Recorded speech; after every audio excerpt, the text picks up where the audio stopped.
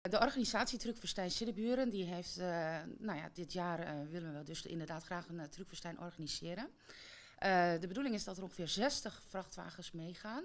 Met, nou ja, daar komen bijrijders bij. En de doelgroep daarin is dat mensen met een beperking mogen meerijden om deze ja, hele dag, vullende dag, mee te gaan met ons. om een fantastische dag te hebben samen.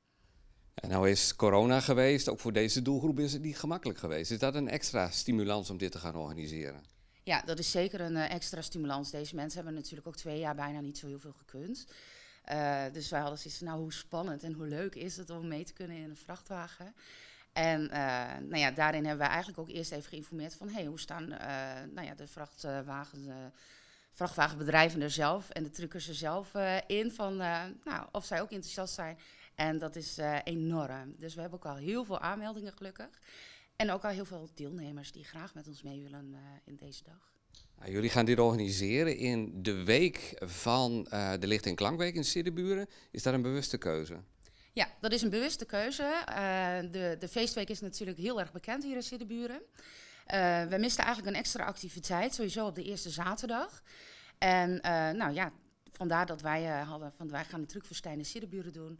Als er in ieder geval al 60 vrachtwagens hier in het dorp zijn, hoe leuk is het ook voor de mensen om langs de kant van de weg.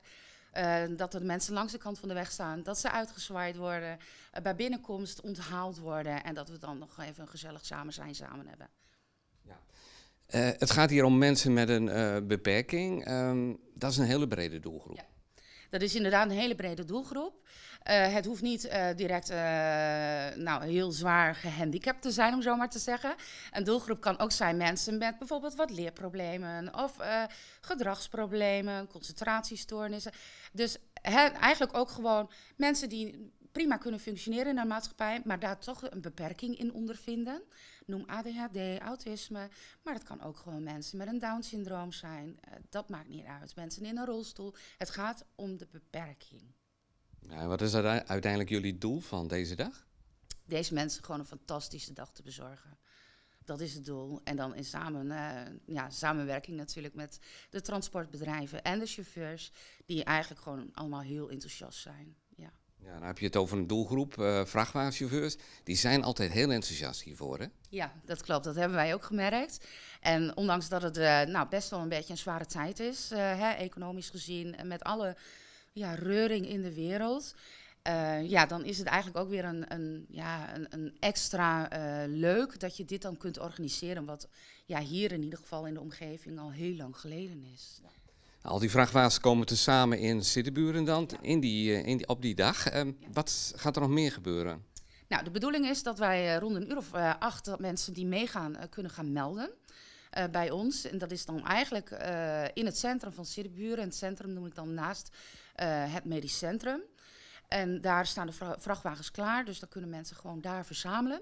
Dan stappen we in, dan hebben we een hele route, mooie route uitgestippeld voor de mensen. Dus uh, nou ja, om onderweg gewoon ook echt te kunnen gaan rijden en te genieten van alles wat erbij hoort hè, om in een vrachtwagen te rijden. Vervolgens is het eindpunt Drouwen Zand Attractiepark. Daar verblijven we een aantal uren. Daar kan, uh, ja, onder we gaan natuurlijk begeleiders en et cetera mee. Hebben we daar gewoon een fantastische paar uren met uh, nou ja, genoeg activiteiten daar in het park. Vervolgens gaan we, nou, ik denk rond een uur of drie weer terug. Dus dan gaan we weer verzamelen, weer in de vrachtwagen. Met een hele mooie alternatieve route. Weer terug naar Ziddeburen. Vervolgens is dan nog de bedoeling dat we een rondgang maken door het dorp. En dat dan het einde van de dag is. Dus het is echt een heel dagvullend programma. Ja. Kunnen jullie genoeg vrachtwagenchauffeurs vinden? Ja, we kunnen uh, genoeg vrachtwagenchauffeurs uh, hebben zich eigenlijk al opgegeven. Of nog niet genoeg, maar we kunnen altijd nog meer gebruiken. Maar uh, wat wij merken is dat er in de wandelgang al heel veel over gesproken wordt en dat iedereen heel erg enthousiast is. Nou, dat kost het natuurlijk ook geld. daarvoor zoeken jullie nog sponsoren. Ja, wij zijn druk bezig met, nou ja, om alles rond te kunnen breien voor deze fantastische dag. Om dit mogelijk te maken hebben wij ook vanuit de organisatie zelf een crowdfunding opgestart. Uh, wij zijn op social media te vinden onder Drukverstijn Siddeburen. Via Facebook in ieder geval. En daarop staat ook de crowdfunding. Dus die wordt eigenlijk al massaal gedeeld.